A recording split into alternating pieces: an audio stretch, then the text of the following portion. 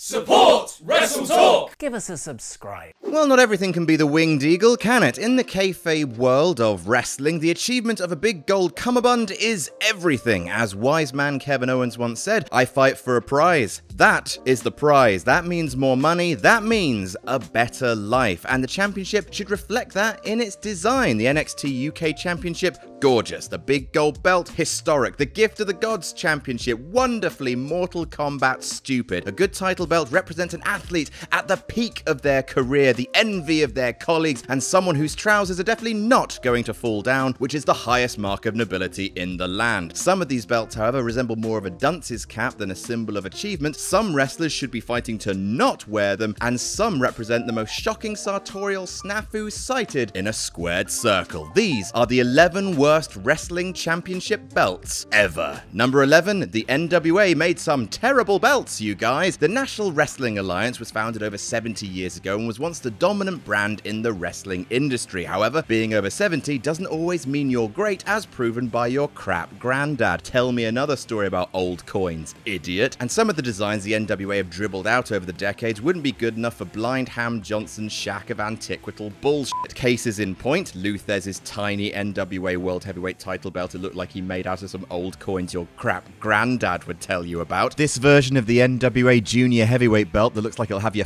appendix out if you bend to tie your shoelaces. And honestly, come at me all you want, but the famous NWA World Heavyweight Championship, the Ric Flair Harley Race belt, one of the most important bits of hardware in the history of rough and tumble, it's bad, guys. It's squat. The colors on the flags really clash. It looks cheap. The US flag being off to one side gives it a distracting asymmetry. And also, you won't be able to unsee this, I'm sorry. It looks like a face with big derpy eyes and a big clown nose. Not since Mick Jagger has something so ugly meant so much to so many. Number 10, Jam That Jam. Like the NWA Heavyweight Belt, the Universal Championship is proof that we can get used to anything if it sticks around long enough. By the way, for those wondering, Jam That Jam is a reference to a tattoo that Hulk Hogan has on his forearm that says, I am that I am, but it actually looks like it says, Jam That Jam. Anyway, yes, the big red sticky mess that is the Universal title belt. A design so horrible, it ruined an entire SummerSlam. And you know what? Yes, it's terrible. Yes, it looks infected. And yes, it looks more like someone carrying around a skinned animal carcass in a championship. But all of WWE's top belts are homogenous shambles right now. Raw Women's, SmackDown Women's, WWE, Blue Universal, they're all the same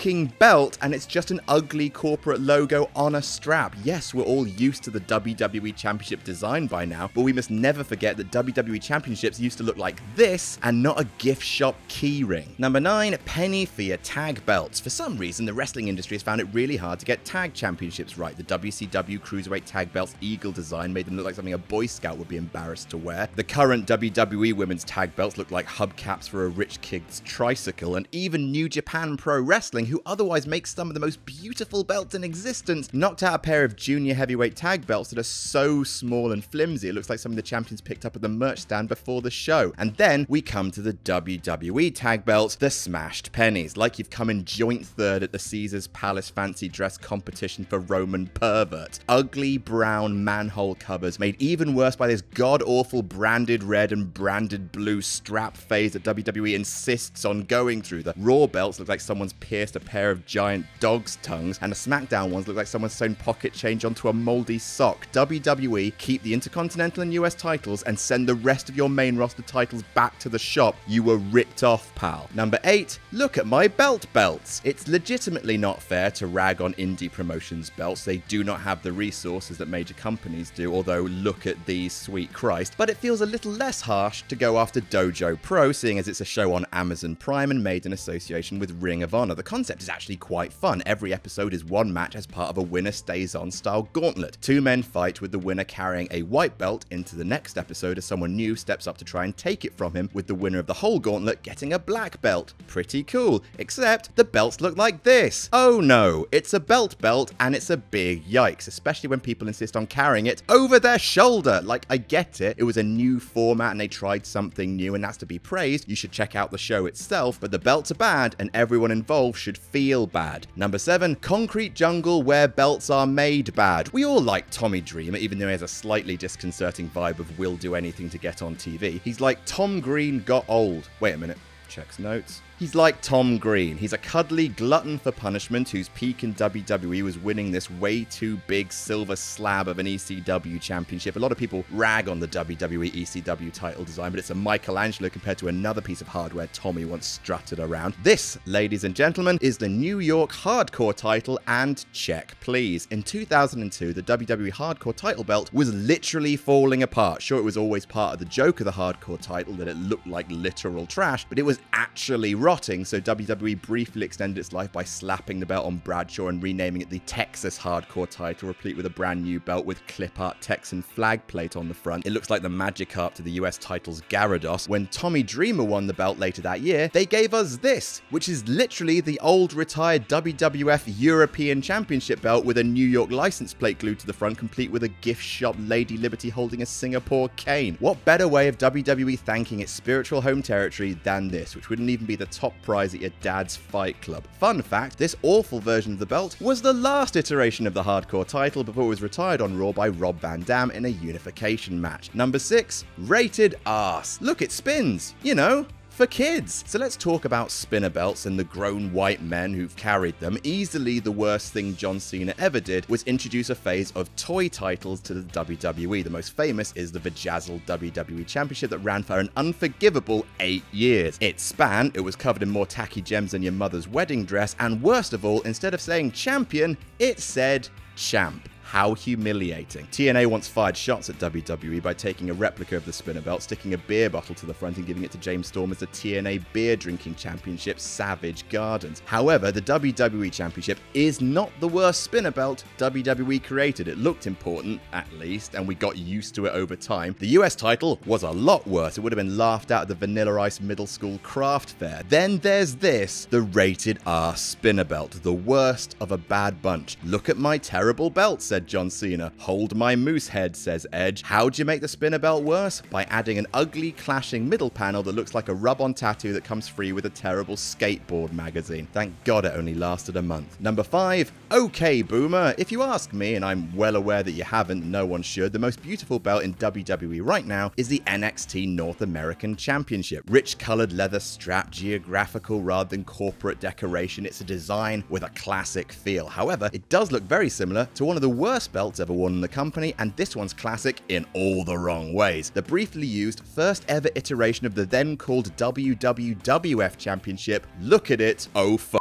It's Lisa's Florida costume, but a belt. Where do we start? The wrestling figures that look like they're kissing on the side plates, the wonky eagle, the fact that if you bend down, Maine will have your large intestines out. Bruno Sammartino beat Buddy Rogers in Madison Square Garden in 1963 to win this. This is the first ever iteration of what we now call the WWE Championship. They hastily replaced it with this design, which is better, but you'll never forget your first, no matter how much you want to. Number four, I gotta do do me. Personalized championships. Sometimes you get a smoking skull belt, which is great. Sometimes you get the Brahma Bull belt, and nothing says badass like electric moo. Sometimes you get the Fiends Look at My Face belt, which looks sort of half decent in shadow, but in the light of day looks mega derpy. Both of those are bad, but there are two personalized belts that stand head and above the rest. The first is Jay Briscoe's Ring of Honor Championship. A lot going on with this one. The camo strap, like he's been a patient boy and saved up all his COD points. The bearded skull design, but crap cherry on the problematic sundae are the little Confederate flags. I'm sure you're just a big fan of tradition, Jay Briscoe. A real good old belt, this. The second terrible personalized title, however, that deserves an entry of its very own. Number three, Jeff Hardy is history's greatest monster. Jeff Hardy was one of my favorite wrestlers when I first started watching. He's beloved. He's a legend. Please never let him design anything ever again. He made Willow, aka What Would Happen If the Penguin and Sting Had a Baby and that baby was also a My Chemical Romance tree. He made face makeup that looks like a member of Sesame Street having a severe allergic reaction. But worst of all, he made the immortal belt. It's based on one of his paintings, and oh my sweet Jesus. Purple strap, dangerous points, and oh no, that face! Like if Dr. Manhattan found himself at Burning Man. The design even comes with earplugs. Fun fact there have been multiple Jeff Hardy personalized belts. Here's another one The Deep Terror. Number two, What Women Want. Bloody hell, the women of WWE have had to carry around some bullshit in their time, haven't they? The Women's Championship that Fabulous Moolah carried around had a picture of a headshot on it like a Princess Diana commemorative plate. The belt that Alundra Blaze held pretty much by herself was alright until she fucking binned it. Then came the years of the bit of burnt sausage skin. Can't believe we become nostalgic for that stretch turd. Never forget the awful LayCool belt where they each carried a shattered half of the Women's Championship. The modern belts that SmackDown and Raw have are much better, but again, like the WWE Championship, they're just a gaudy corporate logo. The Women's Tag Championships are toys, and now we have to talk about the Butterfly Belt, the Divas Championship, created in 2008 and ran all the way until 2016, and it was the utter worst. But you don't need to hear my male ass opinion on that. Why don't we ask Alex, YouTuber over at Queen of the Ring and former Quizzlemania champion, what she thinks?